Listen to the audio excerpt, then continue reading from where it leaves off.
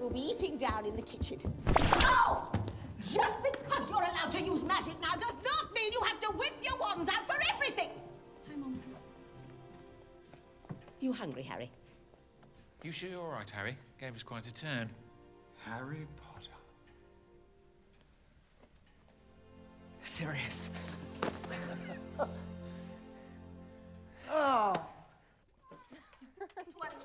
This is very, very peculiar. It seems that your hearing at the ministry is to be before the entire Wizengamot. I don't understand. What has the Ministry of Magic got against me? Show him. We'll find out soon enough.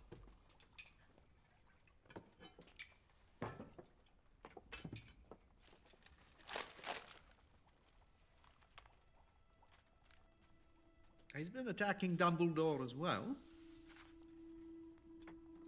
Fudge is using all his power, including his influence at the Daily Prophet, to smear anyone who claims the Dark Lord has returned.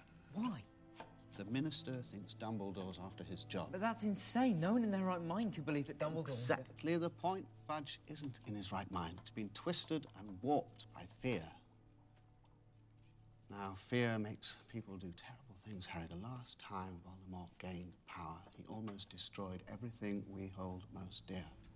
Now he's returned, and I'm afraid the minister will do almost anything to avoid facing that terrifying truth. We think Voldemort wants to build up his army again. Fourteen years ago, he had huge numbers at his command, and not just witches and wizards, but all manner of dark creatures. He's been recruiting heavily, and we've been attempting to do the same.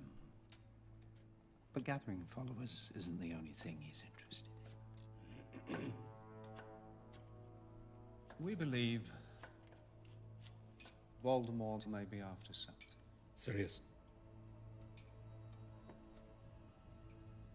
Something he didn't have last time.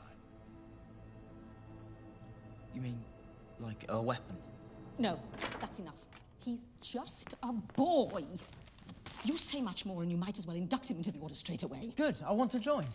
If Voldemort's raising an army, then I want to fight.